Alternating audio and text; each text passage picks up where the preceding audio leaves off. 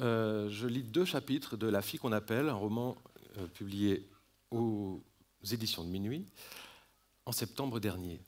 Et je lis le début, donc je n'ai rien à vous raconter avant.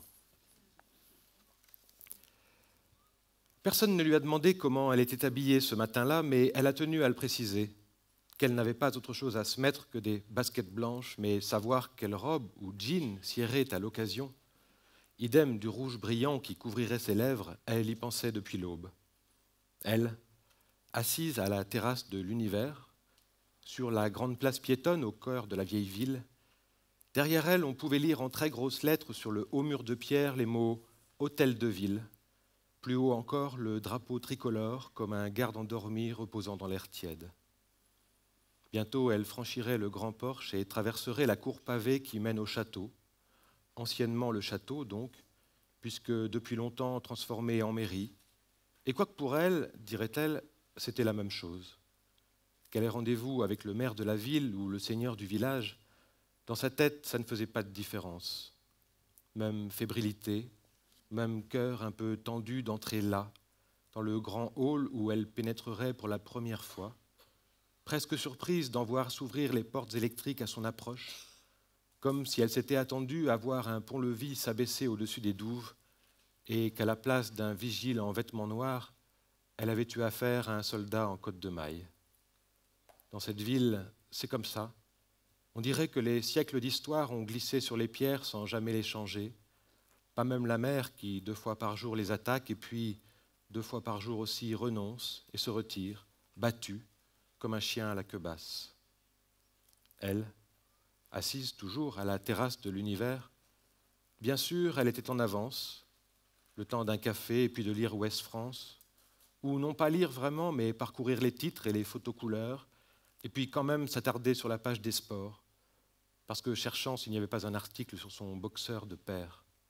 Lui qui, du haut de ses 40 ans, venait de remporter son 35e combat et dont la presse locale ne cessait de célébrer la longévité, pour ne pas dire plus encore la renaissance.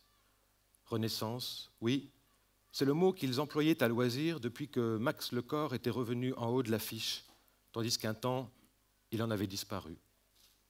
Alors, elle aura souri sans doute en regardant l'énième photo de lui, les bras levés sur un ring, le gros titre au-dessus qui se projetait vers l'avenir, disant Marchera-t-il encore sur l'eau?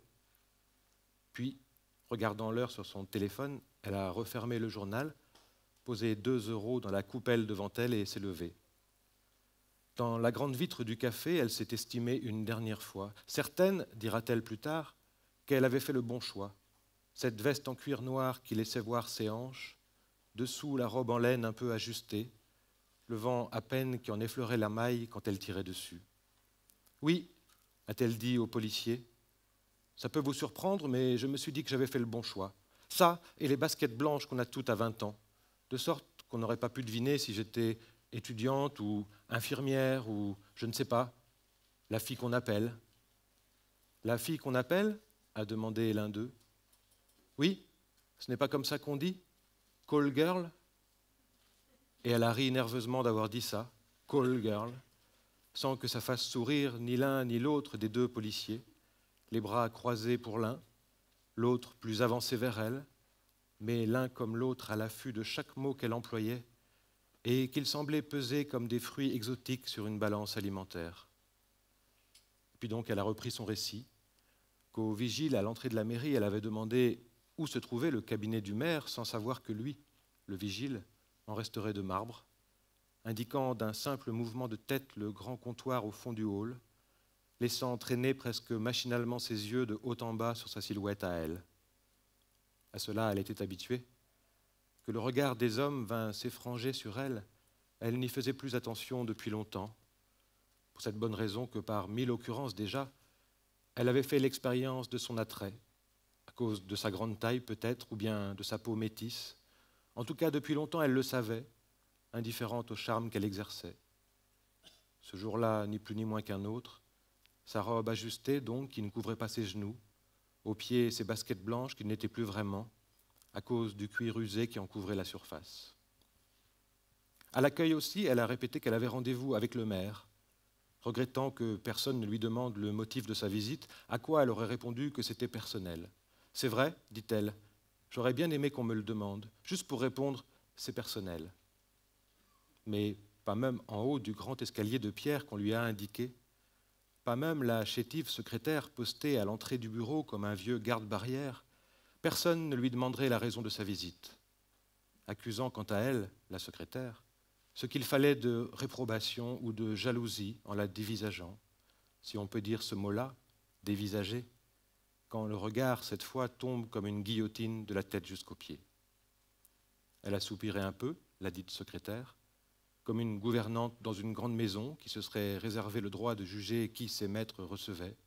Et puis elle a daigné se lever, a entr'ouvert la lourde porte de bois dont elle semblait garder l'entrée et, passant la tête dans l'ouverture, elle a dit Votre rendez-vous est arrivé.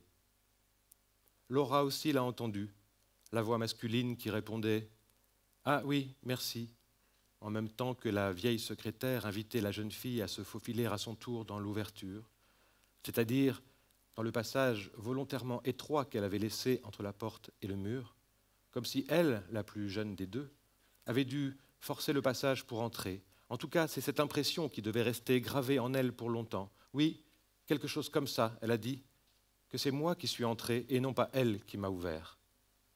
Je vous jure que s'il avait fallu la pousser, a-t-elle ajouté, je l'aurais fait.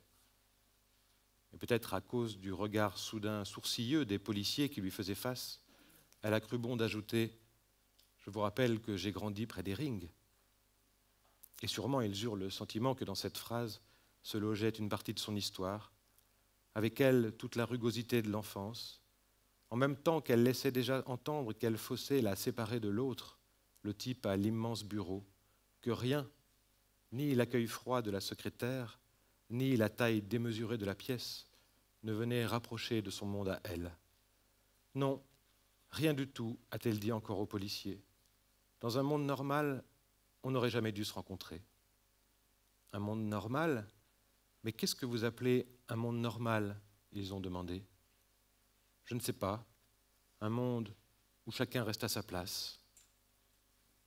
Et comme elle essayait de se représenter ce monde-là, normal et fixe, où chacun, comme une figurine mécanique, aurait eu son air maximal de mouvement, ses yeux étaient venus se perdre dans le tissu bleu de la veste en face d'elle, et laissant s'échapper par devers elle cette pensée surgie des profondeurs, elle a dit Mon père avait l'air d'y tenir tellement.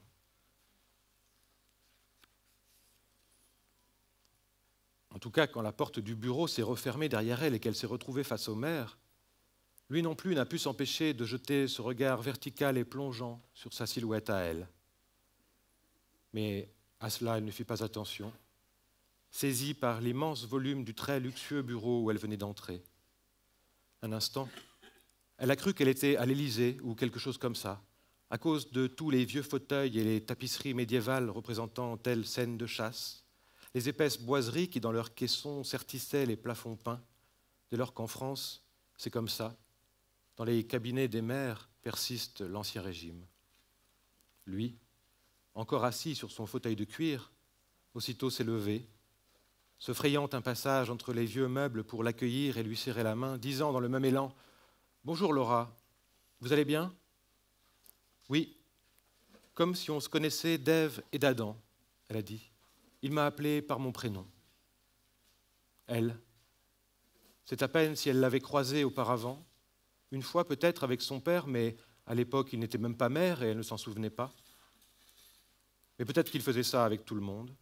Peut-être que tout le monde avait droit à son sourire et à son prénom, comme une bienveillance dont il se serait senti investi par sa fonction, afin qu'entre lui et eux, les habitants, les citoyens, les administrés, il n'y ait jamais d'autre fossé que les responsabilités toutes provisoires qu'on lui avait confiées. En tout cas, ce sont des choses qu'il aurait pu lui dire mot pour mot. Et parce que peut-être aussi, rien ne le remplissait plus que cette sensation de condescendre à la vie normale, si la vie normale à ses yeux, c'était la masse indifférenciée des gens, c'est-à-dire ceux qu'il appelait lui-même les gens, que depuis son élection, c'était son rôle de connaître les gens, de les aimer, de se faire croire qu'il les aimait, à moins que, oui, c'était possible aussi, il ne s'aima lui-même en train de les aimer. Elle aura senti des choses comme ça, Laura, elle qui n'y a jamais laissé toute sa lucidité, et même si depuis la veille elle s'inquiétait de ce qu'elle dirait ou comment elle s'habillerait, si une partie d'elle tremblait comme une enfant convoquée chez un directeur d'école, elle savait très bien aussi que lui, quand il s'était levé ce matin-là, ne connaissait même pas son agenda du jour. Et c'est bien pourquoi il ne partait pas à égalité, elle, Laura Lecor, 20 ans, étudiante, et lui, Quentin Le Bars, 48 ans, maire de la ville. Il aurait pu reprendre sa place derrière son grand bureau de maire, lui proposer une chaise en face de lui, mais non. Il a indiqué le canapé de cuir qui délimitait un petit salon près de la fenêtre. Venez par là, il a dit, nous serons mieux. Cela, dit-elle, je ne saurais jamais si c'était un traitement particulier ou bien si toute personne qu'il recevait, il tenait à la mettre à l'aise, lui faire oublier tout ce mobilier si lourd dont il n'était que le locataire. En tout cas, c'est ce qu'il lui a dit. Je ne suis que locataire ici, vous savez et le temps qu'elle parcourt la pièce entière du regard, qu'elle s'habitue à tout ce luxe comme on doit s'habituer à la lumière au sortir d'un tunnel, à ce moment, il lui a proposé de s'asseoir. Seulement, il n'a pas dit Asseyez-vous. Non, il a dit Assieds-toi, je t'en prie. Elle a fait comme si elle n'était pas surprise qu'il la tutoie si vite, peut-être à cause de son jeune âge, forcément c'était normal qu'il soit avec elle plus familier qu'avec une autre, et puis parce qu'aussi, bien sûr, elle était la fille de Max. Je veux dire, pas seulement la fille du grand boxeur, mais d'abord et surtout la fille de son chauffeur. Elle, s'asseyant sur le rebord du canapé, comme craignant de s'enfoncer trop loin dans la mousse des coussins, elle a remercié d'abord d'accepter de la recevoir et de prendre ainsi sur son temps, lui l'interrompant aussitôt, insistant que c'était normal, que s'il pouvait l'aider, bien sûr il le ferait, lui encore debout s'allumant une cigarette, ça ne te dérange pas si je fume? Elle a fait non de la tête. Serre-toi si tu veux.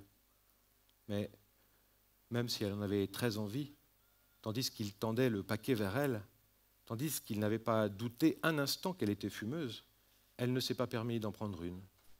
Plusieurs fois ensuite, elle fixerait le paquet.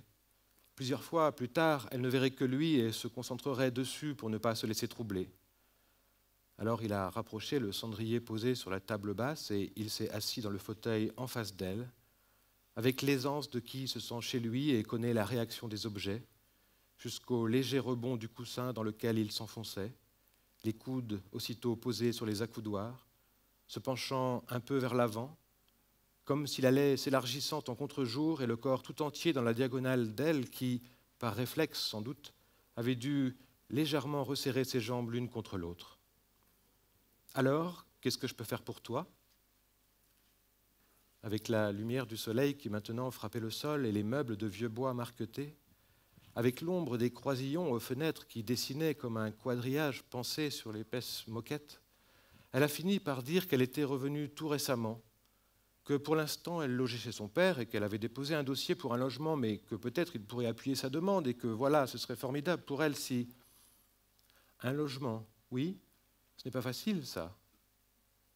Et depuis le début, il ne l'avait pas quitté des yeux, plongeant dedans comme dans un lac volcanique dont il ne voulait pas voir les rives, la laissant à son silence à elle, se demandant ce qu'elle devait dire, comme si on l'avait obligée à être là, et que maintenant on l'obligeait à quémander quelque chose. Vous savez, elle a dit, ce n'est pas moi qui me serais permis de vous demander quoi que ce soit, mais mon père a insisté pour et se rendant compte, lui, à l'instant même, qu'il l'avait oublié, son père à elle, se rendant compte surtout qu'il n'avait pas envie d'y penser maintenant, cherchant plutôt comment relancer la conversation, n'importe quoi pourvu de ne pas sentir Max s'interposer entre deux. Alors, sans qu'il mesure en lui ce qui relevait du calcul ou de l'instinct, il a repris Tu étais où avant À Rennes, elle a dit. Ah oui, à Rennes. C'est bien Rennes, c'est jeune, c'est vivant. Mais Quitter Rennes pour ici, à ton âge, on fait plutôt le contraire, non? Elle ne savait pas si elle devait répondre oui ou non, à cause de tout ce qu'elle voulait éviter de soulever de sa vie d'avant, qui ces derniers jours remontait plus nettement dans sa mémoire, comme une peau morte dont elle n'aurait pas réussi à se débarrasser, toute chose conservée là en image délavée, non pas usée ni passée, plutôt qui n'aurait pas mûri assez de temps dans le bain chimique de la mémoire pour qu'en apparaissent les contours et les couleurs les plus franches, comme des souvenirs en gestation. Oui, sans doute, a-t-elle fini par dire. Et tu fais quoi en ce moment? Je veux dire, tu as un travail? Non, pas encore. Je cherche, elle a dit. Tu cherches dans quoi? La psychologie? Elle n'a pas su s'il y avait de l'ironie ou de la défiance dans sa question, mais enfin elle a répondu Oh non, pas forcément, n'importe quoi en fait. Et dans l'élan de sa question, il s'est relevé de son fauteuil, comme s'il voulait soudain écourter l'entretien. Elle a cru un instant qu'il était contrarié, tandis qu'il s'approchait des grandes fenêtres qui dominaient la cour, les mains qu'il avait mises maintenant dans les poches de son pantalon, avec le bas de la veste que soulevaient ses poignets, lui, de longues secondes de dos avant de se retourner vers elle d'un demi-tour un peu rapide, un peu nerveux aussi, comme qui s'engage sur un chemin inconnu, disant Peut-être que je pourrais t'aider pour ça aussi, il a dit, te trouver un travail. Elle, surprise bien sûr, et se disant Bon, si le maire commence à proposer un travail à tous ceux qui entrent dans son bureau, euh, oui, bien sûr, si vous entendez parler de quelque chose. Et, comme par un tour de magie, sur la dernière syllabe de sa phrase, il est venu s'asseoir là, non plus en face d'elle, mais bien à côté d'elle.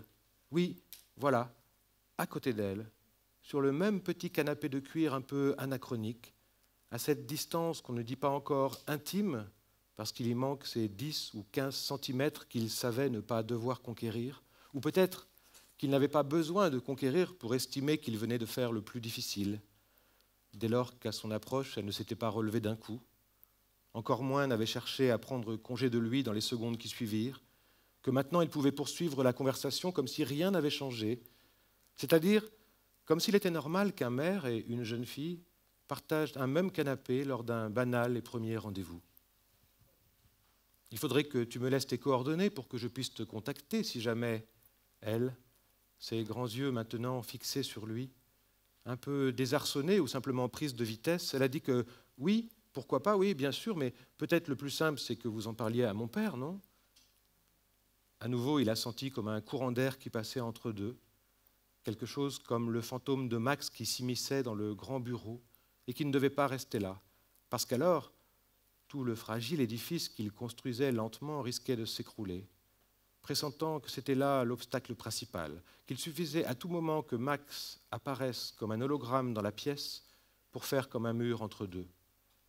Et c'est ce même mur qu'elle avait éprouvé soudain le besoin de monter, sans même se rendre compte combien ça avait été une sorte de défense naturelle et inconsciente, pourvu de se protéger de lui, comme si, à chaque fois qu'elle dirait Mon père, il apparaîtrait là, dans un coin de la pièce, et qu'elle se réfugierait derrière lui, comme une enfant timide qui s'agrippe à la jambe d'un adulte.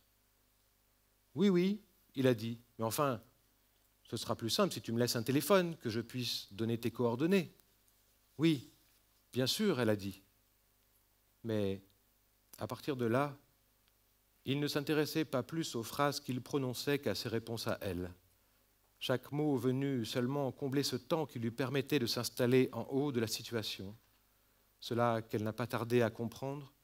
Du moins, il y a une part d'elle que ça a plus qu'effleuré, qu'il avait d'autres idées en tête, quand à chaque seconde qui passait si lentement, on aurait dit qu'il avait un sismographe dans la poche pour mesurer les vibrations qu'elle dégageait, en même temps qu'il s'approchait doucement, très doucement, de ce qu'il faudrait bientôt appeler l'épicentre.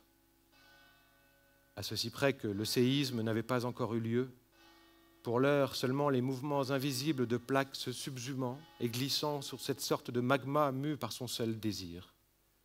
Et puis voilà, de même quand tectonique survient à l'instant du choc, de même elle a senti sa main à lui qui se posait sur la sienne, en même temps qu'il lui disait ⁇ Je vais faire ce que je peux pour t'aider ⁇ Elle a senti sa respiration se couper, comme un clou qu'on aurait enfoncé dans une horloge pour en arrêter l'aiguille, et elle n'a plus bougé pendant de longues secondes, interdite en somme, le cerveau à l'arrêt, c'est-à-dire non pas réfléchissant ni hésitant, mais seulement suspendu, avec cette information nerveuse qui était bien montée là, dans son cerveau, mais s'y était bloquée, comme un ascenseur entre deux étages.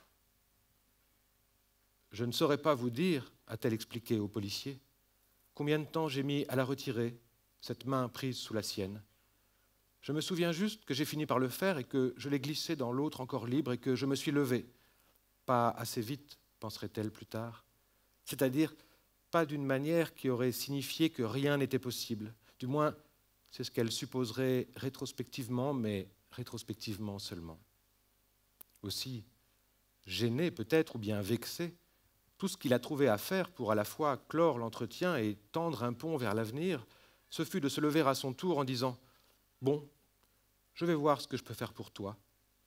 Tandis qu'il retournait sans hésiter vers son bureau pour y prendre un stylo et un petit carnet sur lequel il lui demanderait d'écrire son numéro de portable.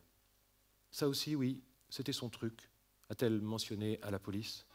Cette manière de laisser entendre qu'il ne la traitait pas comme n'importe qui et qu'il notait son numéro dans un carnet personnel. Il y a des gens comme ça, elle a dit, capables de vous faire croire qu'il n'y a que vous au monde.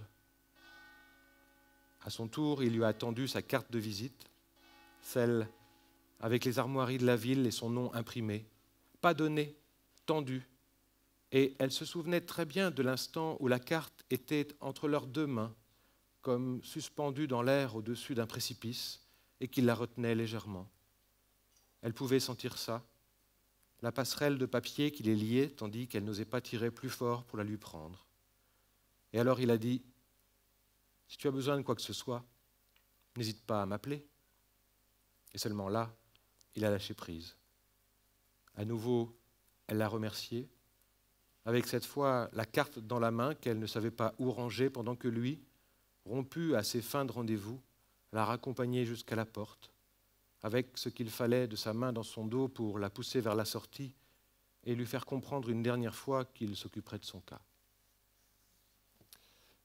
Je vais vous lire un extrait de mon dernier roman, Histoire de la nuit, euh, qui est un roman paru en 2020, en septembre 2020.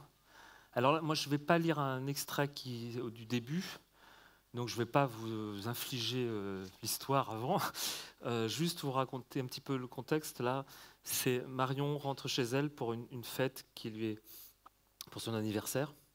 Il y a son mari et sa fille qui, l'attendent. Euh, sauf que, évidemment, c'est un petit peu un thriller. Donc c'est en réalité tout le monde est pris en otage elle ne le sait pas, elle va découvrir les gens qui, qui ont pris sa famille en otage, et donc elle arrive, elle, à ce moment-là, pour simplement vous dire à peu près le contexte.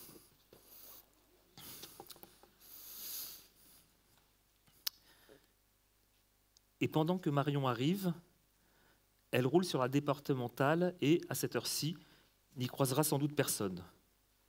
Déjà la joie de cette victoire qu'elle vient de connaître et avec elle tout ce qui, il y a encore si peu de temps, lui semblait une source intarissable de satisfaction, cède la place à la joie plus forte encore, plus impatiente aussi, de rentrer chez elle. Marion se sent libérée et elle chante comme une folle, la musique à fond. Elle aime tant les karaokés. Et là, dans sa voiture, elle se fait son karaoké pour elle toute seule, sur les chansons qu'elle aime depuis toujours, en se disant pourtant qu'elle ne pourra pas tout raconter du pourquoi de sa joie à Patrice, car comment lui expliquer ce dont elle a toujours refusé de lui parler? Amener sur le tapis l'histoire du chef de projet alors qu'elle n'avait jamais évoqué devant lui la forme de crainte et d'énervement que son chef suscitait en elle, qui allait jusqu'à la colère, parfois jusqu'à l'envie de vomir, qu'elle attribuait à toutes les causes qui n'en étaient pas. Les règles, une indigestion, une gastro, un rendez-vous avec l'instit d'Ida, se racontant que rien ne méritait qu'on en parle ou qu'on s'en plaigne. Oui, c'était juste une appréhension. Et, comme ses collègues avec leurs maris, proches, amis, famille, elle ne s'en était ouverte à personne et certainement pas à Patrice, sans trop savoir pourquoi, par gêne, peut-être par honte d'en rajouter. Marion ne dira rien sur ça, comme si le chef de projet avait au moins gagné l'intimité d'un secret avec elle. De toute façon, maintenant, ce qui compte, c'est la joie à venir. C'est de se sentir l'esprit libre, et pour ça, elle voudrait chasser l'image du bureau et de l'imprimerie, garder le cap sur ce pourquoi elle a accéléré, et la voilà qui quitte la départementale. Très bientôt, elle arrivera sur cette route étroite et défoncée par des nids de poules, des crevasses, une route au bas-côté effrangée, effritée. Voilà, elle tourne à gauche dans le chemin caillouteux, avec ce froissement sous les roues qu'elle connaît par cœur et qu'elle n'entend plus à force d'habitude, mais aussi parce que le plus souvent elle laisse la musique à fond lorsqu'elle entre dans la cour. Elle passe devant le panneau qui annonce l'écart des trois filles seules, et elle éteint la musique, elle a ouvert sa vitre pour chasser l'odeur du tabac. Cette fois-ci, elle n'allumera pas de cigarette en sortant de sa voiture, au moment où, garée, elle prendra son sac. Non, cette fois, elle fera vite. D'ailleurs, son sac est prêt, à côté d'elle, pas de babiole ni de paquet de clopes à ramasser. Il suffira de remonter la vitre et de se précipiter chez elle pour que la fête commence. Lorsqu'elle entre dans la cour, en roulant au pas, Marion s'étonne de la Clio blanche garée en face de chez Christine et davantage encore de la voiture bleue arrêtée près de chez elle, une Seat, presque face à la porte-fenêtre qui donne sur la salle à manger. Elle roule très lentement, a le temps de se poser des questions sur ces deux voitures, d'envisager que peut-être Patrice a invité des amis. Mais quels amis? Est-ce qu'elle connaît des gens qui ont des Seat bleus et des Clio blanches? Ça ne lui dit rien, mais peut-être qu'elle se trompe. Est-ce qu'il aurait, invité, est aurait invité François et Sylvie? Non, ils sont en Bretagne. Jacques et Fabrice Les Guins Les Toureaux Les Tertipis Dom, Flo Charlotte et sa grande famille de voyageurs? Non, ils sont trop loin. Elle se demande, elle cherche, elle fait le tour des amis qu'il pourrait avoir invités. Sa curiosité est très excitée et bien sûr elle se demande et vraiment ne voit pas. Depuis le temps qu'elle est ici, elle ne connaît personne qui conduit ce genre de voiture. Elle ne voit pas trop qui il aurait pu inviter, qui ils auraient pu apprécier suffisamment tous les deux pour penser que ça aurait été une bonne idée de les réunir autour d'eux. Comme tous les soirs, Marion va avoir ce réflexe de tourner la tête vers la lumière de la maison. Elle va jeter un œil dans le rectangle éclairé de la porte-fenêtre de la salle à manger. Elle verra aussi, mais moins nettement, sur la gauche, des carrés lumineux plus petits qui laisseront percevoir l'intérieur de la cuisine, et pareil du salon sur la droite. Mais ce soir, ce sera aussi pour essayer de voir qui peuvent être ces invités auxquels elle ne s'attendait pas, et juste le temps d'un coup d'œil à travers la porte-fenêtre de la salle à manger et la vitre passager de sa voiture, elle aperçoit bien deux silhouettes d'hommes mais ça va trop vite pour qu'elle les identifie. Et puis cette lumière chaude et jaune qui ressemble à la chaleur d'un feu de cheminée irradie tout, surgissent seulement l'éclat de la table et de la décoration, même de loin, même si vite. Déjà, elle gare sa voiture dans le hangar et n'a plus pour l'éclairer la luminosité de la terrasse et celle de la porte-fenêtre, qui se dilue dans l'obscurité face à elle. Mais l'image s'est inscrite dans ses yeux, deux silhouettes, le jaune orangé des lumières tamisées et la guirlande avec ce bon anniversaire doré que Patrice s'obstine à suspendre au-dessus de la table pour lui faire plaisir, à elle ou à Ida, ces rituels des fêtes entre eux qui les réunissent tous les trois, et elle trouve touchant cet enfantillage, un geste de gosse caché au fond d'un homme si éloigné de l'enfance qu'elle ne peut s'empêcher d'en sourire. Elle sort, cette fois sans perdre de temps avec aucun de ces retards qu'elle accumule, habituellement. Elle est très vite hors de sa voiture, la contourne, avance dans la cour, se laisse déjà aveugler par la lumière qui vient de la maison. Il faut qu'elle arrive sur la terrasse pour commencer à voir, tout au fond, Patrice réconfortant Ida. Ida pleure, elle le voit tout de suite. Elle ne voit même plus que ça. Patrice est en train d'essayer de la consoler, de sécher ses larmes. Il lui parle, c'est sûr. Ida et Patrice ne semblent pas la voir.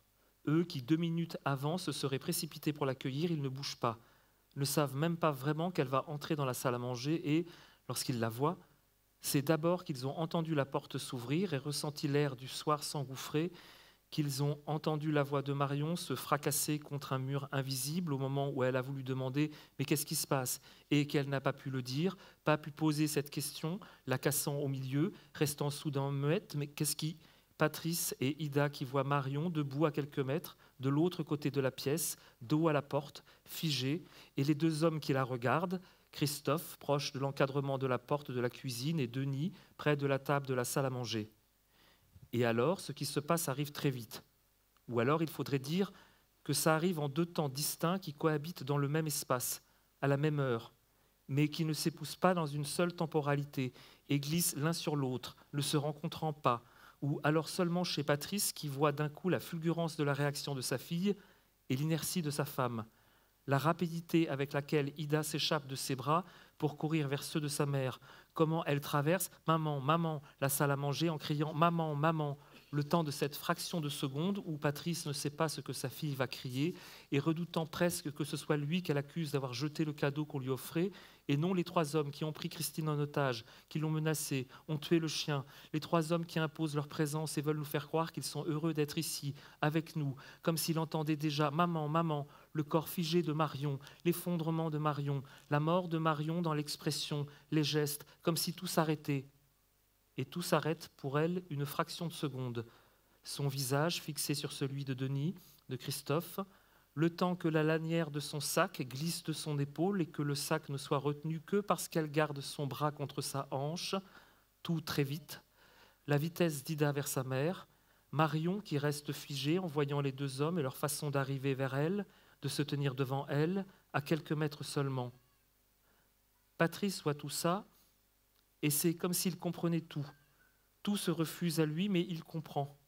À travers le visage de Marion et l'effondrement si rapide qu'il y a lu, le sourire et la gaieté effacés comme du maquillage balayé par un coup de chiffon, laissant apparaître un visage gris et sans traits, sans aspérité ni vie, comme si le sang s'était retiré et avec lui toutes les années marquées dans les plis de la peau, laissant une page non vierge mais diaphane sur laquelle on ne pourra rien écrire, trop fragile, trop mince. C'est comme la mer se retirant loin avant de refluer lors d'un tsunami. La pâleur s'installe. Et pourtant, par chance pour Marion, car c'est une chance pour elle, Ida la grippe, s'accroche à elle, maman. Marion qui laisse tomber son sac à main à ses pieds, sans même s'en apercevoir, sans que personne ne s'en aperçoive ou ne s'y intéresse. Ce qui compte, c'est la voix blanche et brisée, maman, maman, les larmes qui l'étouffent, Ida qui ne sait pas comment sécher ses larmes, si heureuse et soulagée de retrouver sa mère, comme si elle était certaine que maintenant tout allait s'arranger et qu'il suffirait que Marion parle pour que tout revienne à ce point où aucun des inconnus n'aura jamais franchi le seuil de la maison, n'y sera jamais venu, où Raja continuera à aboyer dans la cour, à gratter contre la porte de chez Christine, qui, elle, sera en train de se maudire de n'avoir pas commencé plus tôt ses gâteaux. Ida peut de nouveau espérer quelque chose. Quoi? Mais Marion la serre très fort. Patrice ne sait pas si c'est pour Ida ou pour elle-même. Pour se cacher des hommes qui sont là et, attentifs et patients, ne disent rien, ne font rien, seulement debout. Christophe jetant parfois quelques coups d'œil à son grand frère Denis qui fixe la mère et la fille en esquissant une sorte de sourire hébété qui ne veut rien dire. Ou alors si, qui veut dire, qui cherche à montrer qu'il veut dire qu'il veut qu'on comprenne qu'il savoure ce moment, et combien il le savoure, même si on ne sait pas ce que c'est, là, grimé sur son visage, entre ses lèvres, ni de la joie ni du plaisir, pas plus de la curiosité ni de l'attendrissement. C'est aussi indéchiffrable que malsain. Oui, ce pli de la lèvre qui trahit l'amertume et la violence.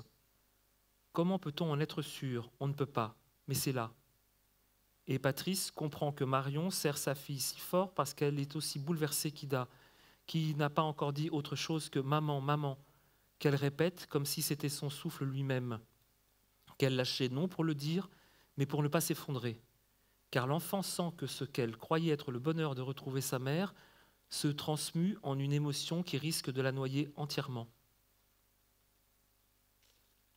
Maintenant, il semble que pour Marion, ce qui reste à faire, c'est de consoler Ida et de l'étreindre, sachant que pour l'instant, elle ne peut montrer que sa sidération et que ça, elle ne le veut à aucun prix.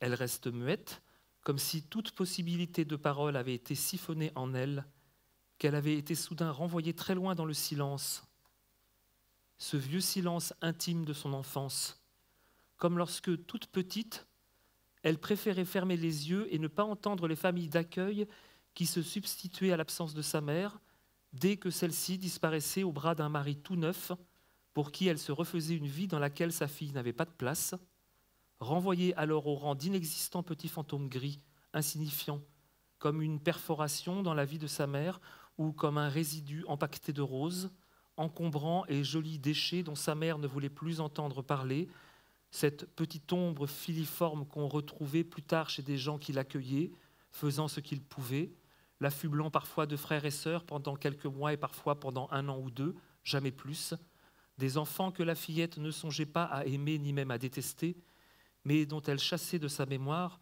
dès qu'il voulait y faire leur trou, la présence, les prénoms, ne gardant d'eux que le souvenir jaloux d'une poupée, d'une odeur, d'un jouet, et puis rien d'autre, non, car très petite, elle avait décidé de se taire et de n'avoir aucune mémoire des gens, de se souvenir seulement des moments partagés avec sa mère, comme ça, par bribes, quelques mois de ses quatre ans, une année de sept à huit ans, puis à onze, douze, treize ans, par à coup. Sa mère, à chaque fois plus abîmée, décrépite, ou au contraire comme lissée, rajeunie, blonde ou rousse, pleine aux as. Et alors c'était la fête pendant quelques mois, des mots d'amour, des promesses de ne plus se quitter jamais, des tendresses, des cajoleries, des fugues dans des hôtels au bord de la mer, avec vue sur la plage pour quelques jours ou quelques heures, l'argent claqué glissant des doigts qu'on imagine bagués de princesse ou de mafieux. Ça durait ce que ça durait, jusqu'à ce que sa mère redevienne sombre et comme enlaidie, fatiguée, ternie par une étrange lassitude, une hébétude qui remontait, l'envahissait, et, comme résignée, elle attendait prostrée qu'en elle le monstre ressurgisse, que l'ombre la gagne entièrement, avec toujours cet air de reproche par lequel il se manifestait d'abord et que Marion avait appris à reconnaître, l'exaspération fulgurante de sa mère, une insulte qui cingle, un rire qui claque et tombe avec des mots, toi, salope, blessant et humiliant, et le même refrain, toujours à vouloir me pousser dans la tombe, qui crache un fiel qu'elle ne peut plus retenir, l'alcool, les draps souillés imbibés de whisky, les cadenas défoncés à coups de marteau pour retrouver une vieille bouteille cachée derrière l'eau de Javel et la serpillière. Ça a duré jusqu'à ce qu'un homme débarque et que tout finisse pire que la dernière fois. Un homme voulant sauver maman, voulant aimer maman, voulant tout à coup caresser Marion qui savait ne pas parler à maman, se taire devant maman, qui ne dirait rien à maman pour la protéger, en pensant pardon, pardon, même si c'est trop tout ça, bien sûr que c'est trop. Même en le vivant, elle pensait que c'était impossible de le vivre. Elle sait depuis toujours comment on fait pour oublier ces choses-là, comment on les enterre en soi pour ne plus les subir, comment on se claque mur de l'intérieur et comment l'enfance invente des cachettes mieux verrouillées que les placards. Et maintenant, ici, une vie d'adulte plus tard, alors que tout a changé et qu'elle-même ne se souvient plus très bien de cette enfance qu'elle a reniée comme on renie un parent honteux, elle choisit ce mutisme entêté qui la bâillonne autant qu'il la protège. Pour l'instant, même si elle sait très bien où il est et ce qu'il fait, comment il est à l'affût du moindre de ses gestes, elle cherche Patrice. Elle voudrait savoir ce qu'il sait des hommes qui sont ici. Est-ce qu'ils sont là depuis longtemps? Est-ce qu'ils lui ont parlé? Elle se décide, se lève, ou plutôt s'arrache au sol, comme si désormais tout ne serait qu'arrachement et non décision se lever, caresser les cheveux de sa fille et lui passer la main dans le cou. Esquida sentira la moiteur de sa paume et cette odeur poisseuse, féreuse aussi, de la peur. L'emmener vers Patrice sans adresser un mot à ces deux hommes dont elle sent l'insistance sur le moindre de ses gestes, et cette ironie triomphante de Denis. Est-ce que c'est un sourire triomphant ou bien derrière, un rictus plus méchant et curieux, amusé jouissant sans fausse pudeur de l'effet de stupeur qu'il lit sur le visage de Marion, dans les gestes de Marion, dans la réaction de Marion. Denis se tourne vers son frère. Les deux hommes échangent un coup d'œil. Denis hoche la tête pour dire qu'il est impressionné et, en retour, Christophe se contente de ce haussement d'épaule qui veut sans doute répondre que lui non plus ne comprend pas ces simagrées de vie de famille, et ils se mettent à rire, alors que maintenant Patrice et Marion sont reliés par la présence de leur fille, là, entre eux. Ida qui s'agrippe à ses parents qui ne se disent rien, se questionnant seulement, en se tenant par ce regard dans lequel Marion lit déjà l'incompréhension de son mari, et où lui doit lire la sienne, même si elle n'est pas de même nature. Car l'un et l'autre savent que si pour lui la question est de savoir qui sont ces deux hommes, pour Marion, il s'agit peut-être seulement de savoir ce qu'ils font là, comment ils y sont arrivés. Et la voix de Denis, tu nous embrasses pas, relayée par celle de Christophe, plus légère, moins amère et plus provocatrice, à sa façon excitée et joviale. T'es pas contente de nous voir? Plonge chacun dans un mouvement qui s'anime. Bientôt tout va s'animer. La télévision continuera à cracher ses hoquets de publicité et de dessins animés que personne ne songe à couper, jusqu'au moment où Denis se mettra en route avec une souplesse et une fluidité surprenantes, une sorte de mouvement reptilien, chaloupé ou dansé, non pas efféminé ou précieux ni même excentrique, mais étrangement sournois, par les détours que prend le corps, avançant avec la fluidité du grand prédateur, dessinant un arc de cercle autour de sa proie, louvoyant pour mieux déjouer les attentes, allant d'un côté puis repartant dans l'autre sens, en douceur, sans à-coups, avançant vers la porte-fenêtre de la salle à manger pour revenir vers la porte de la cuisine et contourner son frère, qui se contente de pivoter pour suivre le mouvement de Denis, repartit cette fois vers le fond de la pièce, prenant le temps de montrer combien il s'intéresse à la maison, au décor, au vaisselier et à ses assiettes de porcelaine avec leurs figures d'oiseaux lyres peintes en vert de gris, au rebord macré, au papier peint avec ses motifs jaune paille gaufrés en forme de cerise, et puis il s'arrête pour observer le carrelage fauve, imitant les tomates anciennes. Denis laisse échapper un soupir, s'arrête pour que tout le monde l'entende bien, le comprenne bien, et il reprend sa marche, la tête dodelinant, et lui traînant, glissant sur les objets sans jamais s'y arrêter, insistant sur les bibelots et la table à laquelle il ne cesse de revenir, attrapant une assiette et l'observant comme un orfèvre vérifierait la qualité d'un or, un joaillier celle d'un diamant, d'une pierre, tournant, retournant et reposant l'assiette en se mordillant la lèvre, comme s'il se posait des questions sur sa valeur réelle. Et puis, soudain, très brusque, se tournant vers Marion, T'es pas contente de nous voir?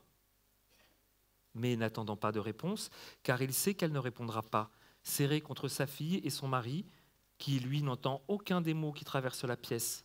Patrice, en qui tout semble répéter, dans la même exaspération, sa rage, son incrédulité, son incompréhension aussi, comme si c'était contre Marion qu'il voulait relâcher cette tension qui lui broie les trapèzes et l'étouffe.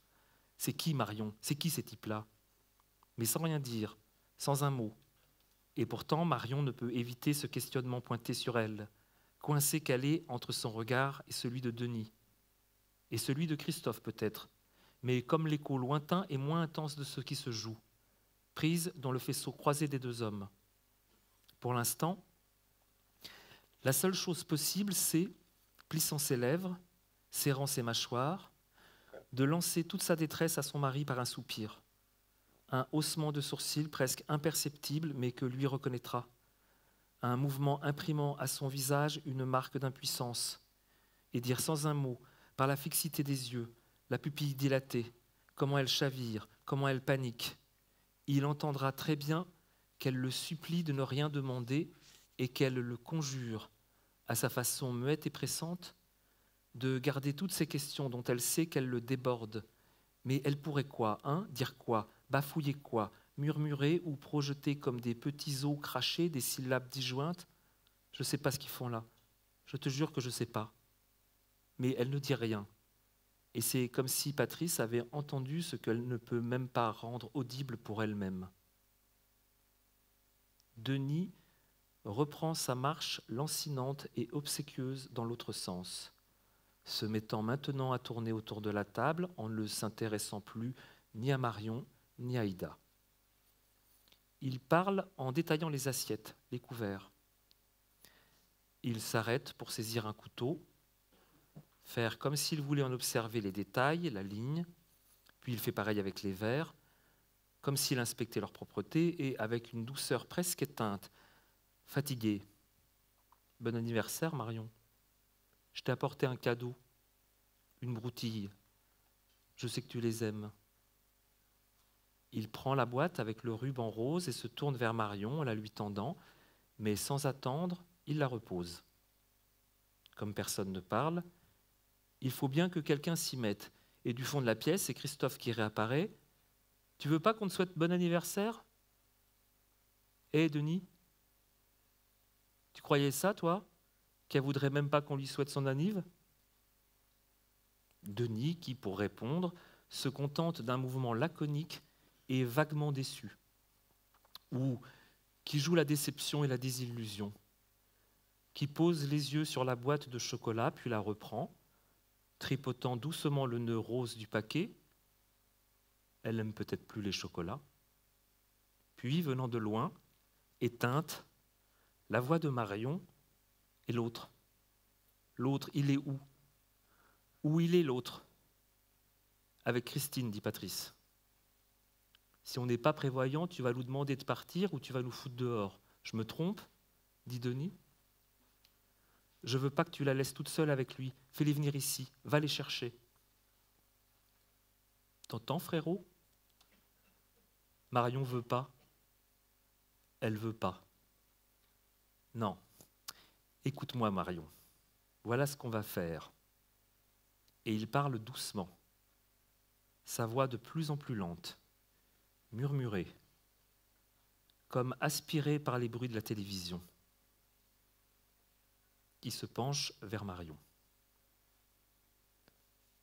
J'ai apporté une bouteille de champagne. T'aimes toujours ça, le champagne? On va tous dîner là, ensemble.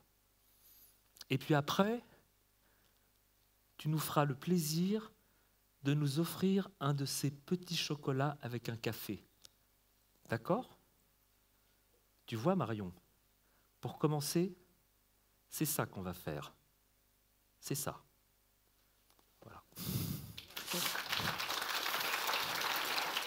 Je vais vous lire un extrait euh, de mon roman qui s'appelle Taormine, de Taormina en Sicile.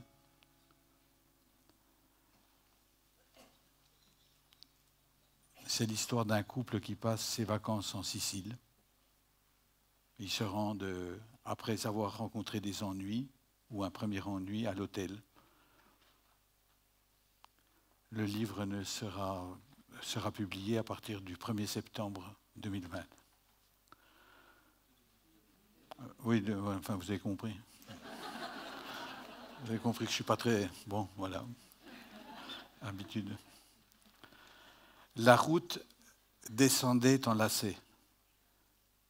Nous avons fait halte un instant sur un promontoire doté d'une table d'orientation avec des flèches et à chaque extrémité les noms des capitales du monde entier.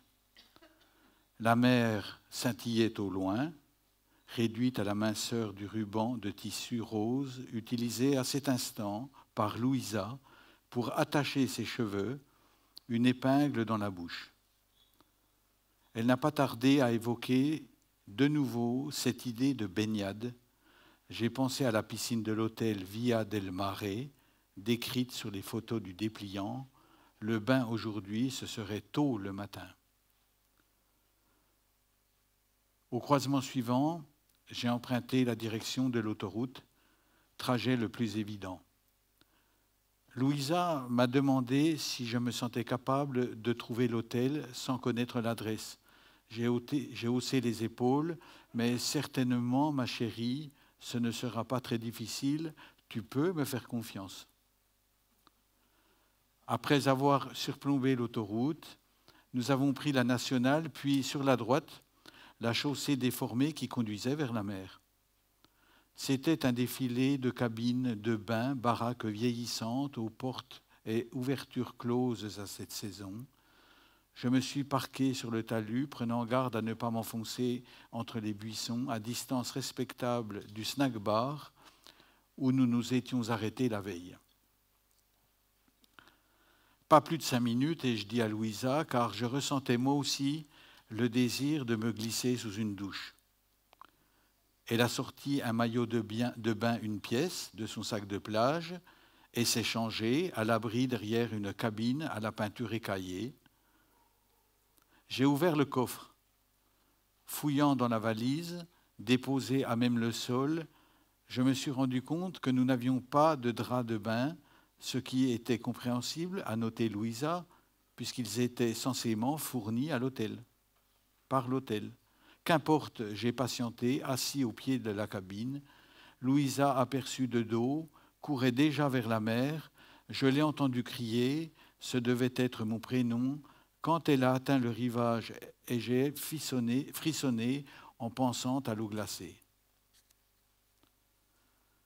Face au soleil qui déchirait la brume à cette heure, mais rendait l'atmosphère plus chaleureuse, j'ai perçu de loin les éclaboussures provoquées par Louisa elle décrivait à la brasse un trajet qui l'éloignait du rivage. Son téléphone a sonné à mes pieds dans son sac à main. J'ai d'abord pensé, malgré l'heure matinale, à un appel comme elle en recevait souvent de Marceline, la secrétaire de son laboratoire au Centre national de la recherche scientifique. En définitive, ce que je venais de lire sur l'écran, c'était un coup de fil provenant d'Italie, puis le message écrit, l'hôtel qui s'inquiétait de notre absence.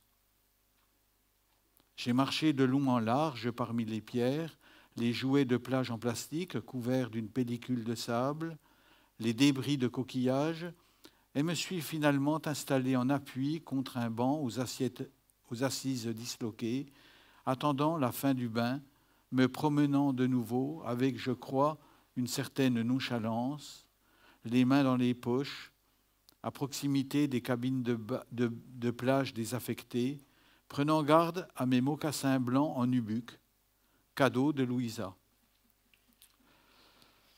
Je me suis dirigé vers la mer, et quand fut atteint le sable mouillé, j'ai retiré mes mocassins puis jambes, remonter les jambes de mon pantalon de toile.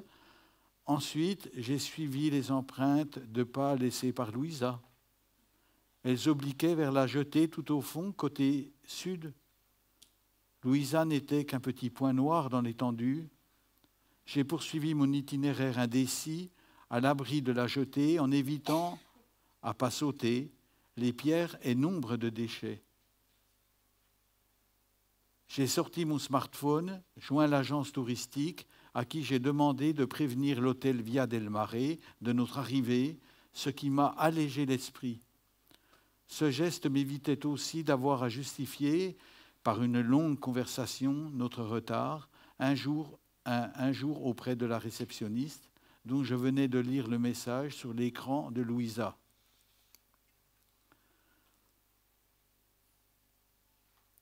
Le ciel se vidait de son eau en direction de Catane. L'atmosphère se réchauffait. Je me suis réjoui de cette initiative, avoir élu la Sicile comme lieu de vacances, et j'ai marché à la rencontre de Louisa pour l'accueillir dès la sortie de l'eau, lui présentant, faute de linge en tissu éponge, une de mes chemises tirées de la valise. Ensuite, je lui ai tendu son téléphone. Elle a pris connaissance du message je lui ai dit que je venais de joindre l'agence. Tout était en ordre. Parvenue à la voiture, Louisa a marqué d'un léger soupir sa satisfaction après la baignade.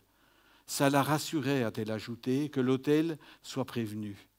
Elle avait conservé ma chemise qui lui arrivait aux genoux, lui constituait une agréable et élégante sortie de bain. Maintenant, elle secouait ses cheveux et tentait en vain de les démêler. L'eau s'écoulait sur ses chevilles, elle s'est dite frigorifiée, changeant d'humeur sur un ton de reproche qui aurait pu m'être adressé. Jamais, en effet, elle n'avait nagé dans une eau si froide, à part peut-être un jour d'avril à Ostende.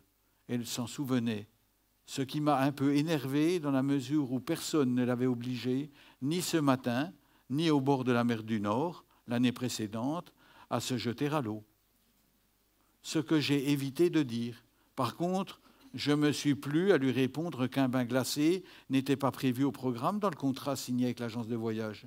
Mais plus sérieux, je lui ai conseillé, ouvrant sa portière et l'invitant à s'asseoir, de prendre son mal en patience, car elle n'aurait pas de douche avant notre arrivée à l'hôtel. Que ce soit très clair dans ta tête, Louisa. Mais apparemment, euh, cette situation ne la perturbait pas plus que cela. À l'abri derrière la cabine la plus proche, qui lui offrait un paravent précaire, elle a commencé par se dévêtir à la hâte, tirant sur l'élastique de son maillot de bain pour le faire glisser sur l'épaule, frissonnante, me demandant de me placer entre elle et la route où, ne passait pourtant aucune voiture. Je lui ai alors tourné le dos pour surveiller, les alentours. Penché sur les lavants de la voiture, en appui d'une main et sur un pied, imprimant à mes mocassins retournés des coups successifs contre la portière pour que s'écoulent en pluie les grains de sable logés à l'intérieur, j'ai constaté au passage que la carrosserie était fortement cabossée sur une grande surface, vraisemblablement à cause du choc de la veille. Et je me suis étonné de ma négligence et de mon incapacité à remarquer ce qui pourrait devenir un jour ou selon les circonstances, la preuve d'un accident. Soyons clairs. Logiquement, tout conducteur qui heurte un obstacle se comporte comme ce fut mon cas, il s'arrête. Mais tout conducteur averti, ce qui ne me ressemble pas forcément, vérifie aussitôt l'état de sa carrosserie. Nous avons affaire ici, me suis-je dit, à un véhicule de location. Réfléchis donc bien, Melville, à ce que tu diras quand tu rendras la voiture. Bon.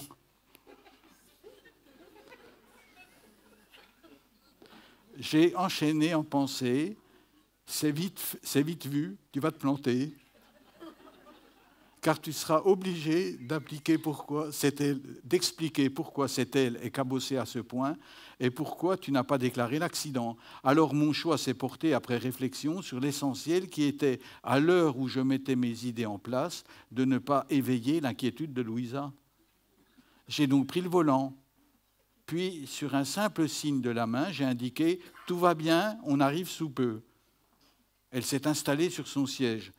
Attends un peu, Melville. Tu pourrais, avant de prendre la route, donner un petit coup sur le pare-brise, on n'y voit plus rien avec le sable. Elle m'a tendu la bouteille d'eau achetée à l'épicerie, aux trois quarts vide, puis elle m'a rappelé le programme de la journée, la découverte de Taormine, suivant les instructions du guide touristique avec en priorité la partie haute de la ville. On y accède, a-t-elle précisé, par une longue montée d'escalier, à moins qu'on ne préfère utiliser la cabine à crémaillère brisée par des visiteurs. Euh, prisée par des visiteurs. Je vous en prie. L'eau minérale s'écoulant de la bouteille glou-gloutait agréablement le long du pare-brise. J'ai dégagé la fine couche de sable du plat de la main cela dit, Louisa avait raison. Le pare-brise avait besoin d'un bon nettoyage. Puis, revenant à notre semaine de vacances, elle m'a rappelé qu'elle aimerait, si nous en avions le temps, revoir cet homme très aimable, l'épicier de Gravinella. Ces rencontres inattendues, a-t-elle dit, lui permettaient de se sentir proche des habitants et elle adorait faire de nouvelles connaissances, surtout en voyage. Mais j'écoutais à peine Louisa, distrait par cette idée qu'il faudrait dégager au moins trois heures de notre emploi du temps de vacances, déjà très chargé, pour se rendre à Gravinella. Mais plus important, j'avais en tête qu'il me faudrait téléphoner à l'agence de location de l'aéroport pour déclarer l'accident. Impossible d'y échapper. Heureusement, nous n'avions pas inutilement pris une police d'assurance supplémentaire et je me suis dit, troublé, je me suis trouvé un peu ridicule, car pour quelqu'un qui souhaitait, depuis ce choc, sur les lavants passer inaperçu, autant dire que c'était raté. Nous avons atteint d'une seule traite la bretelle de sortie d'autoroute direction Taormine, et j'ai changé brusquement d'avis. Par sécurité, et vu les circonstances liées au choc, dont je présupposais l'origine, certainement un animal errant, mais quelle certitude J'aurais peut-être intérêt, si je voulais prévenir tout embêtement, de ne laisser aucune trace. Il me restait donc à me débrouiller seul, ce qui signifiait trouver moi-même un carrossier. J'ai jeté un rapide regard du côté de ma femme.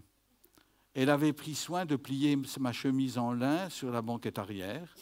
Son maillot, une pièce, séchait déjà grâce au courant d'air qui s'engouffrait par les vitres laissées entr'ouvertes.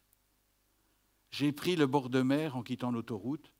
Louisa, à son aise, la nuque contre la, la tête présentait maintenant un profil insouciant. J'ai alors constaté, non sans satisfaction, que ce bain d'eau de mer favorisait sa bonne humeur. D'autant que son visage avait embelli parcouru sans que cela ne me surprenne de minuscules taches de sel laissées par les embruns. Elle portait des lunettes de soleil à monture argentée, marque à consonance italienne, offerte par son père, le professeur Gozzoli. Était-ce le moment de lui dire que cette paire de solaire ajoutait à son charme? Ou étais-je trop intimidé pour déclarer une chose pareille, y compris à voix basse Pour lui dire quoi, en fait? Que je l'aimais? Que j'étais heureux d'être avec elle?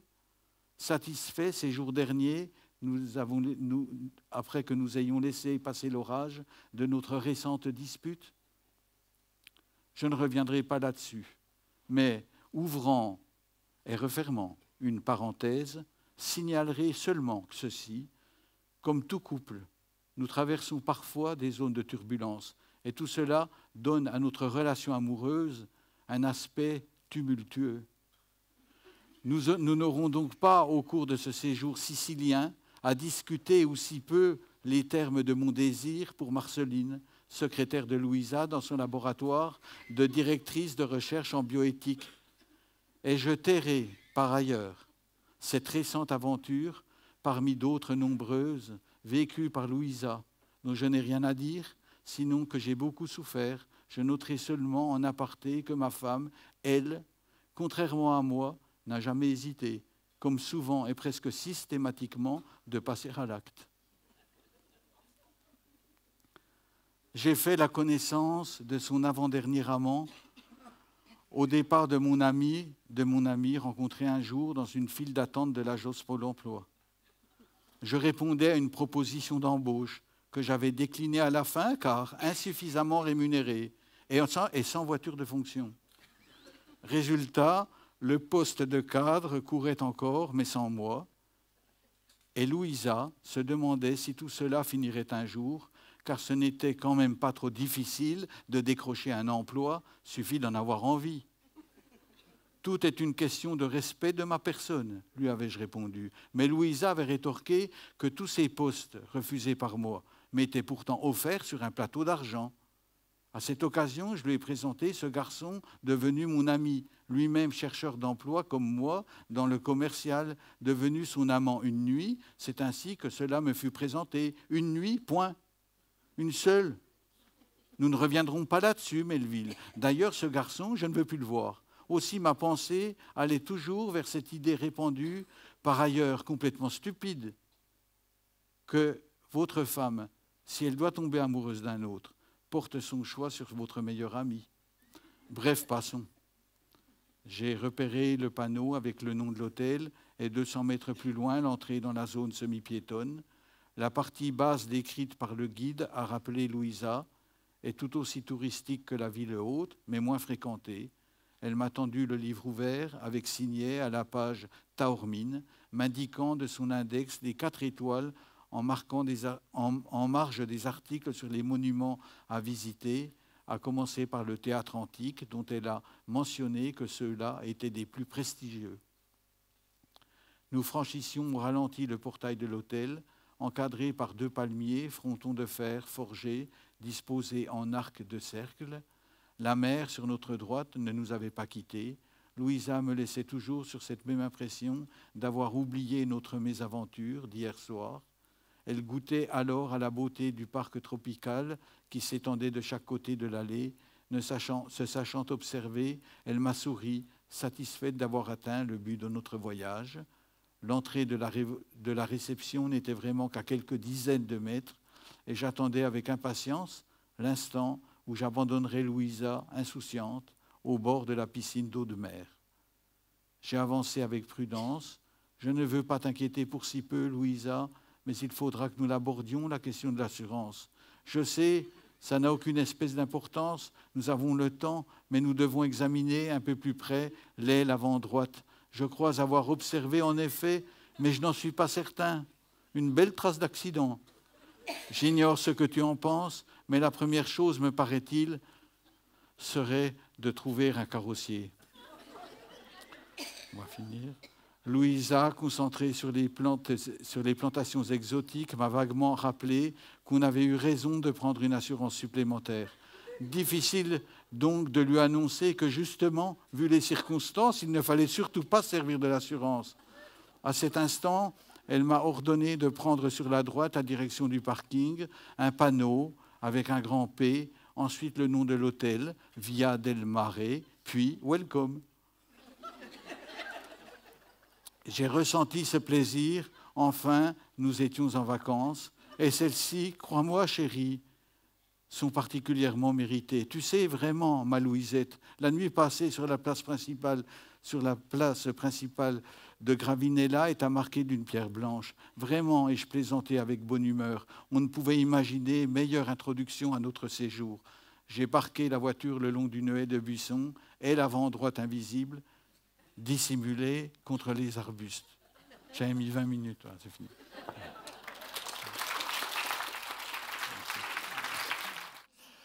Je vais donc vous lire deux textes de Jean Echnoz. Le premier s'appelle Surface de la miniature. Le deuxième, L'horizon. Surface de la miniature.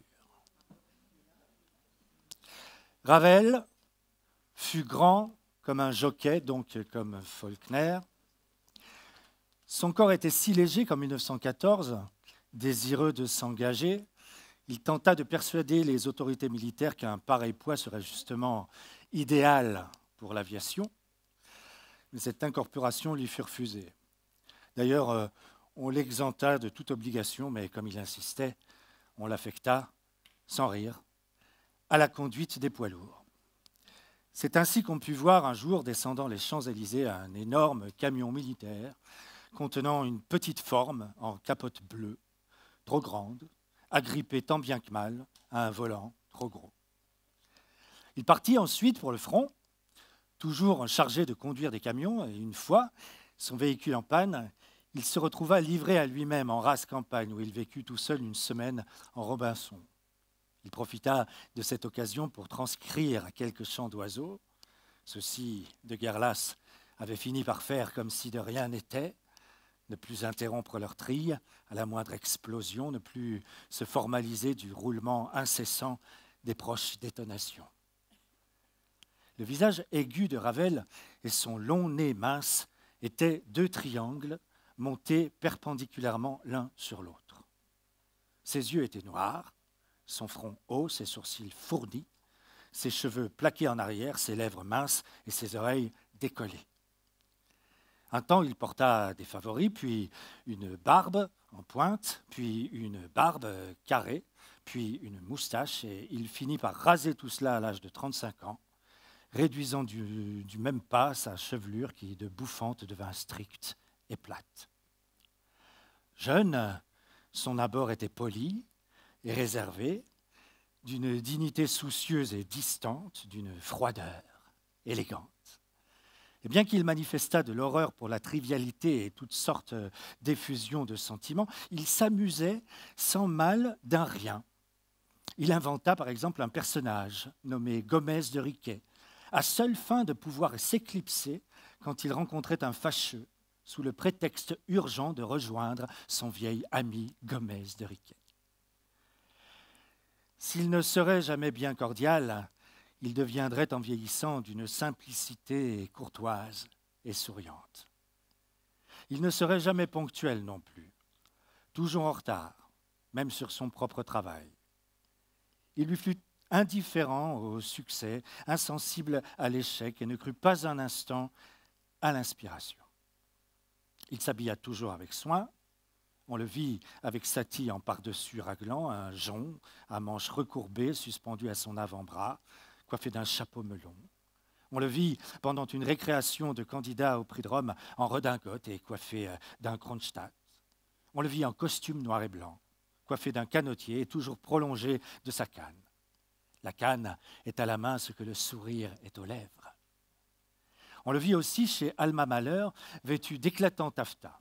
Et il posséda une robe de chambre noire brodée d'or et deux smokings, l'un à Paris et l'autre à Montfort-l'Amaury. L'ordinaire de son alimentation à Montfort fut immuable. Ravel ouvrait d'abord une boîte de maquereau au vin blanc, puis dévorait un énorme steak bleu, suivi d'un morceau de gruyère et d'un fruit, pomme Colville ou poire passe-crassane de son jardin. Il ne buvait qu'un petit peu de vin blanc au repas, mais aimait prendre un pernod avant le déjeuner et un cocktail avant le dîner.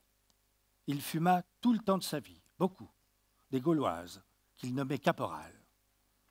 Il ne recula pas devant l'oisiveté, pouvant longuement confectionner des cocottes en papier, des canards en mie de pain, mais ces états de flemme se doublaient souvent d'accès de pessimisme, de découragement et de chagrin. Et dans ces moments, il reprochait amèrement à ses parents de ne pas l'avoir mis dans l'alimentation.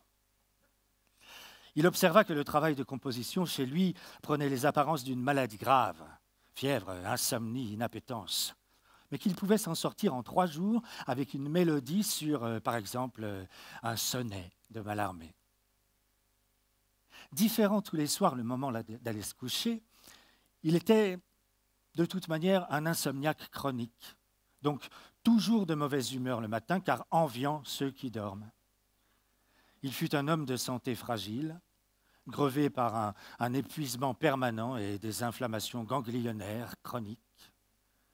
Ainsi, fatigué sans cesse, traité intensivement aux extraits d'hypophyse et de surrénal, il dut pourtant partir en Amérique du Nord pour une tournée de quatre mois, changeant de ville tous les trois jours par des trains de luxe, à bord desquels, dans sa suite panoramique, on avait le choix pour remplir sa baignoire entre l'eau douce et l'eau de mer. Il se produisit dans ce pays quelques trente fois et dut fêter son 53e anniversaire du côté de Phoenix ou de Buffalo. Et pendant les répétitions, il fit vive impression sur les instrumentalistes en assortissant chaque fois les couleurs de sa chemise et de ses bretelles. De ce voyage, il revint en pleine forme. Au Havre où ses amis l'attendaient, avant toute chose, il exhiba les dizaines de cravates qu'il avait achetées là-bas. On ne sache pas qu'il est amoureusement aimé, homme ou femme, quiconque. On sait que lorsqu'il s'enhardit un jour à proposer le mariage à une amie, celle-ci se mit à rire fort en s'exclamant devant tout le monde qu'il était fou. On sait que lorsqu'il essaya avec une autre, il, déclina également cette proposition, quoique avec plus de, douceur. Mais quand une troisième aussi grande et importante qu'il était petit, lui, et mince, lui fit à rebours la même offre, on sait encore que ce fut lui qui rit aux larmes. On sait enfin que Rosenstadt une fois, elle le retrouva dans une brasserie de la Porte Champéret, où Ravel semblait entretenir un commerce excellent, du moins très familier, avec un parti de putes euh, dont c'était là le quartier général. Bref, euh, on ne sait rien. À Montfort, Ravel avait trouvé une toute petite maison à son échelle et dans laquelle il accumula des objets minuscules, mais où, en proie à un cafard qu'il disait colossal, il s'ennuya aussi énormément. Tombé vraiment malade, il lui devint difficile de composer, puis d'écrire, puis même de parler. Il mit des heures à rédiger une de ses dernières lettres, contraint de chercher chaque mot dans le dictionnaire Larousse, et il finit par cesser presque entièrement de s'exprimer. Se tint sur sa terrasse et déclara qu'il attendait, mais sans préciser quoi.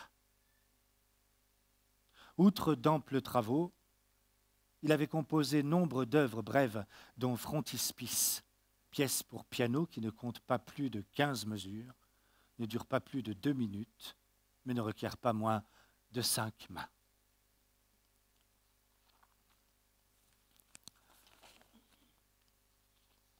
L'horizon.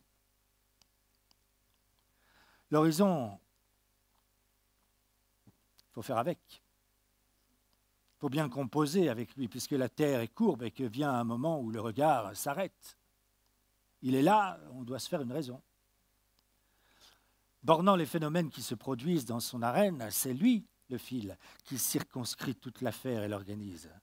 Fil du rasoir qui coupe les paysages en deux, fil tendu sur quoi sèchent ou se trempent les couleurs des panoramas, fil semblable à celui auquel, dans l'atelier du photographe, et tant que survivra la technique argentique, des films peuvent pendre au moyen de pinces inoxydables. Le photographe se rend dans un de ces pays plats qui bordent une mer, des étangs, des marais, et où, au terme d'une brève ligne de fuite, on accède d'autant plus frontalement à l'horizon. Celui-ci apparaît tout de suite, désigné par une flèche en forme de route, euh, de canal, euh, de jetée. Parfois, c'est de façon plus sournoise qu'un chemin zigzag vers lui, comme un signe de piste. Le serpent d'un couloir d'eau, une péninsule inversée de flaques éparses, ou bien c'est tout le mouvement choral d'une houle, d'une plage, d'un champ qui le fait paraître. Mais s'il lui arrive aussi de se masquer légèrement par des premiers plans en amorce, des serres de branchage ou des blocs de graminées, euh, ombre portée, euh, mare où se mire une ronce, émergence disposée dans le sable, euh, parfois l'horizon se camoufle. Derrière une butte, un baraquement, trois buissons, deux silos. Il se joue des, maladroits fils électriques qui ont renoncé depuis longtemps à rivaliser de, de, rectitude, et des arbres, pylônes, poteaux qui essayent quant à eux de créer des points d'exclamation perpendiculaires. Il n'est pas sans pudeur ni coquetterie, lui arrivant de se dissimuler derrière une frondaison comme un rideau de théâtre, de se maquiller d'un brouillard ou de ce qui peut lui tomber sous la main, prenant plaisir à se laisser deviner, à se suggérer lui-même. L'horizon s'habille comme il veut. Quelquefois aussi, presque rien de lui ne paraît selon la lumière.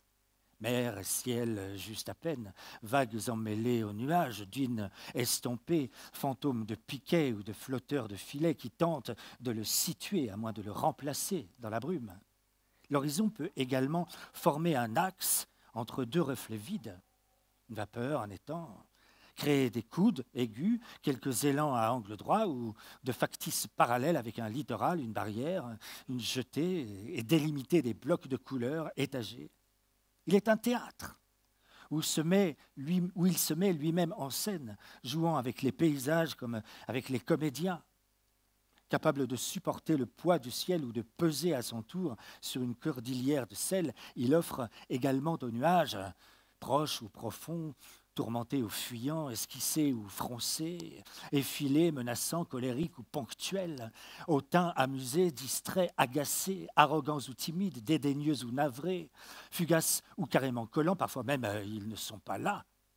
Il offre à leur chorégraphie une ligne de flottaison solide.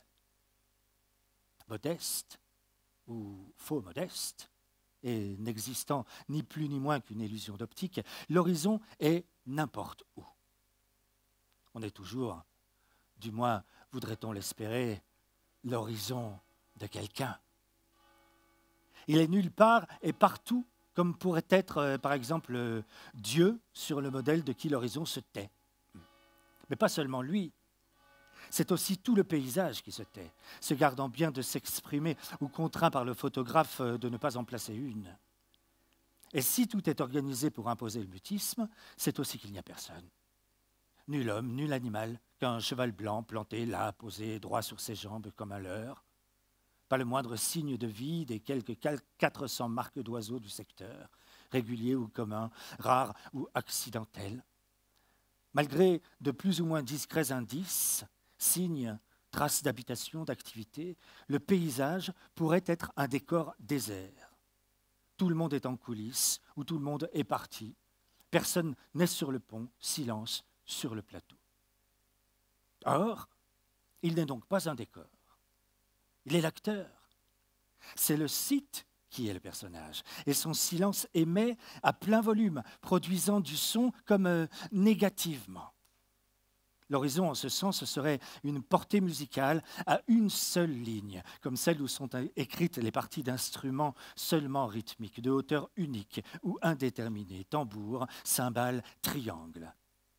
Sur cette ligne, et par contamination sur toute l'image, s'inscrivent différents sons qu'on perçoit émanant du paysage par soustraction, par appel d'air. Amplitude du vent, nervosité des vagues, froissement de feuillage, entrechocs de branches mises en eau, des rizières, plis d'ailes et cris d'oiseaux, même si pas le moindre héron n'est en vue, pas l'ombre d'un courrelis, zéro busard, nul pluvier, ni mouette rieuse, ni goéland railleur. On regarde, on entend. Car l'image donne le son, pas un écho, mais comme le mouvement contraire d'un écho. Elle suppose un frémissement du cheval, le souffle d'un taureau, des clavecins de moustiques, même les objets qui sonnent par leur forme physique scénique. Ainsi, vocifère, griffes et ongles, un allié. Par l'horizon, le photographe tire un trait, une ligne de part et d'autre de laquelle s'écrivent, comme autant de signes typographiques, l'histoire d'un ciel pur, brouillé, frangé, voilé, et celle d'un territoire fixé par la lumière. Barre de fraction, parcours de funambule, l'horizon n'est pas plus un lieu que l'ombre est une matière ou le noir une couleur.